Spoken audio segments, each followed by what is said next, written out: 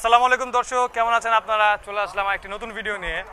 দর্শক, আজকের ভিডিওতে আমি আপনাদেরকে দেখাবো যে গত শুক্রবারে লাস্ট ফ্রাইডেতে আমি হাটে গেছিলাম। হাট থেকে আমি এক জোড়া কবুতর কালেকশন করছি। তো কবুতরটা আপনাদেরকে দেখাবো, কবুতরটা আগে আপনারা দেখেন একটু। এই প্রথম আমি আমার বাসায় রেসার কবুতর নিয়ে আসলাম।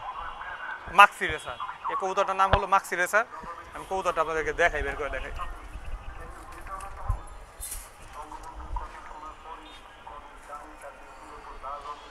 দেখেন কবুতরটা। দেখছেন? রেসার কবুতর। এটা হলো মাদিটা।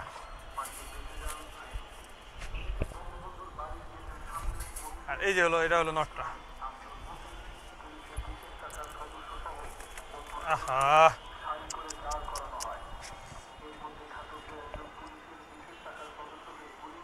দেখছেন দর্শক?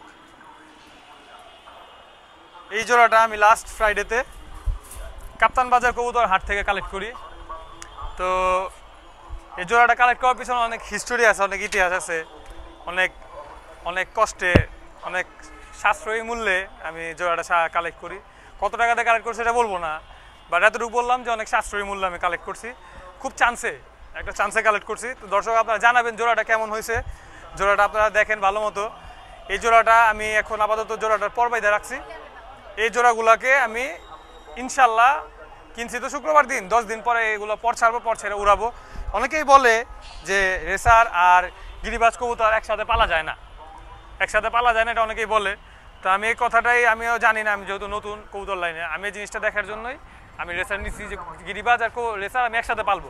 একসাথে পালা যায় কি যায় না আমি এটাই দেখব ট্রাই করব। আমি অলরেডি যে দেখেন রেসারের জন্য খাবারও নিয়ে আসছি। এই যে রেসারের খাবার, আমি খুলে দেখাই একটু খাবারটা।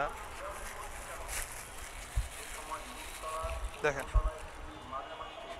এগুলো রেসার কবুতরের খাবার। আর এই যে আমার গিরিবাজের জন্য নর্মাল খাবার, গিরিবাজের খাবার। এই যে নর্মাল আমার গিরিবাজ কবুতরের খাবারগুলো। তো দর্শক, এই ছিল আজকের ভিডিও আপনারা জানাবেন আমার এই জোড়াটা কেমন হলো। আর আপনারা পারলে একটা কস্ট যে কত নিল জোড়াটা, কত দেওয়া নিলাম, আপনারা কমেন্টস আমাকে জানাবেন। দেখি আপনারা আইডিয়া করতে পারেন কি না কত দেওয়া নিছি আমি জোড়াটা। সো এই ছিল ভিডিও আমাদের চ্যানেলটি বেশি বেশি করে শেয়ার করবেন প্রত্যেকটা ভিডিও এবং সাবস্ক্রাইব করবেন। ধন্যবাদ, আসসালামু আলাইকুম।